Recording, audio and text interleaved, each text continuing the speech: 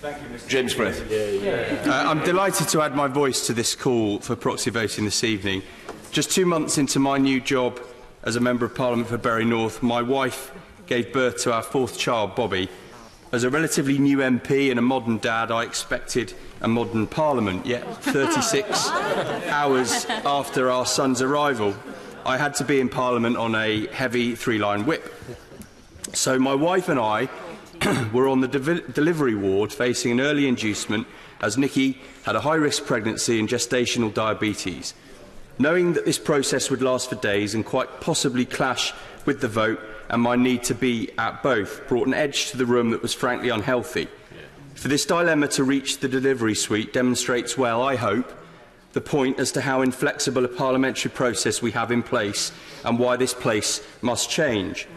Last night, over dinner in anticipation of me saying something this evening, my wife admitted that she'd had a cry with the midwife about it.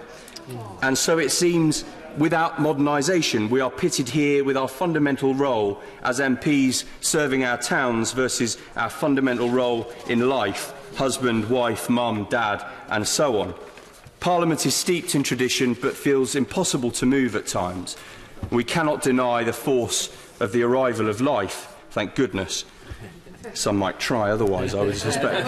Work-life work balance is an important attribute for every workplace, including Parliament, and this should include remote or proxy votes in special circumstances, as we're debating tonight, as is also raised in the book produced by the Fabian Society, New Brooms, which included contributions on reform for the 10 of my Labour colleagues from the 2017 intake.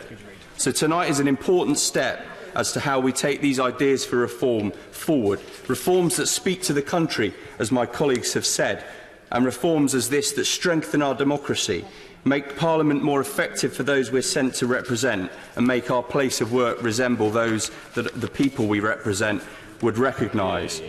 The urgent need for reform has never been starker. In recent time, with a minority government, knife-edge votes and some of the traditional agreements, such as pairing, breaking down. Mr Speaker, There is too much process, not enough product here.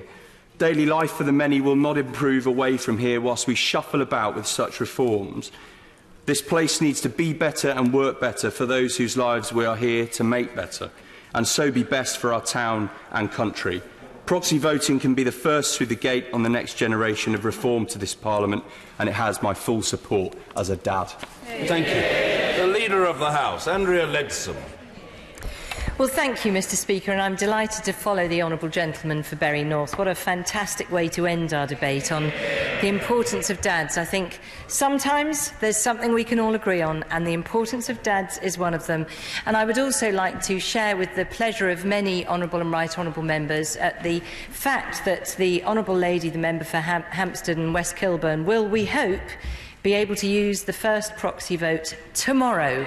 So it may be the first time since the 19th century, as the Honourable Lady for, for Liverpool Wavertree mentioned to us, but it certainly won't be the last time. And it is fantastic news for Parliament. It's something we can all get behind in our attempts to make this a modern workplace that more people from more diverse backgrounds of different ages and stages in their life will feel proud to come to to represent their constituents. I do hope that all honourable and right honourable members will support these motions to prove that when we really get together, we can do great things. Thank you.